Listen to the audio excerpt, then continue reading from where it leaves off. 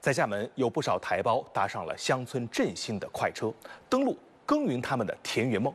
他们不仅将台湾优质种苗和先进生产经验带到这里，也把汗水和情怀挥洒在这里。而伴随着农林二十二条等惠台措施相继出台，他们的事业也越来越如鱼得水。今天，我们就带您认识两位在下台农，听他们讲述他们与这片土地的故事。你长得非常美，我知道你现在不健康，少了肥料，明天一定补肥料。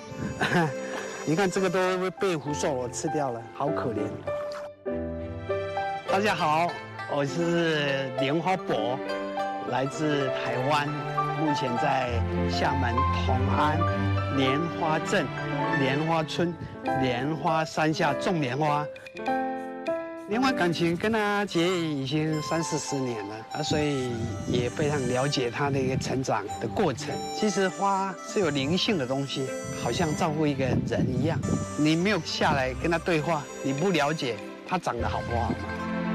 选这块地的时候，以前是一个荒地，里面都是沙石头，经过了十年的改造，买泥土飞来飞天，种树绿化，所以十年的工作才有今天。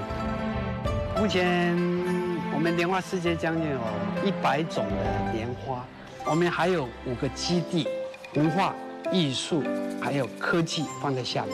因为我是来自台湾，对这个这这个厦门比较有感情。华中、华北、华南，我也看他们的生活，他们最羡慕厦门的台商。厦门五景五衣啊，啊人的特啊。有闽南文化的一个传统，莲花代表非常的吉祥、圆融、融合，我们两岸的一家亲，形容这一朵莲花一样，藕断丝连。哎呀，你看，永远分不开的啊！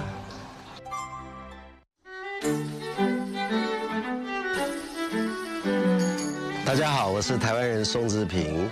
我是个农民，种植台湾水果。我们在厦门翔安有一个观光休闲的农业的果园，种植了二十几个优良的品种的台湾水果。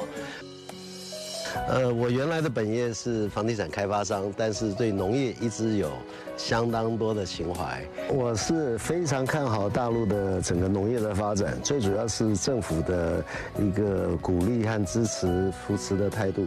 每年中央的一号文件一定是关于“三农”的政策，地方政府在农业上给我们的补助扶持也就相当多。呃，譬如说，你看我现在地里头下的这个有机肥料，每一年每一亩地都有补贴五百块。在大陆做农民，其实你只要肯学，我觉得蛮幸福的。我上个礼拜刚参加我们厦门农业农村局培训新农民的课程，里面有一个就教我们怎么做电商直播。我也希望透过电商的这些渠道啦，能够增加我的通路。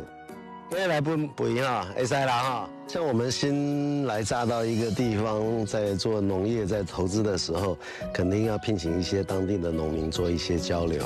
大仔村的从村领导到地方农民都非常的亲切，而且非常的好客。然后我们也把好的品种、好的优质技术带进来啊，这个是个双赢的局面。厦门翔安是我登陆的第一家园，第一站点赞。